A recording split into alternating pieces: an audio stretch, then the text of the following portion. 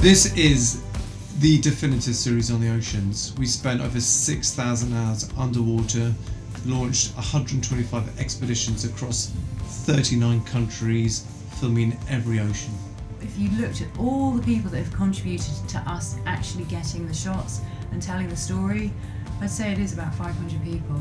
We knew that we are going to have to collaborate with science all the way through this, with marine biologists, with oceanographers, with the great oceanographic institutions, and it would be really through um, a collaboration with them that we would hopefully get the new stories we wanted to tell. So the combination of bringing scientists on board with submersibles onto a boat as well equipped for science research as this is really unusual and exceptional.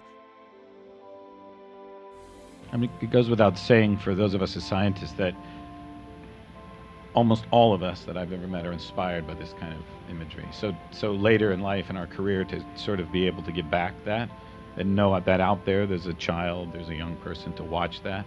It's the beginning of a new career. You know, you just feel, mm-hmm. you know, that when you see the children and you see everybody watching this, and you know when you see these scenes that that's the next generation inspired to take this the next goal in 30 years from now. To find out where you can watch Blue Planet 2, go to bbcearth.com forward slash Blue Planet 2.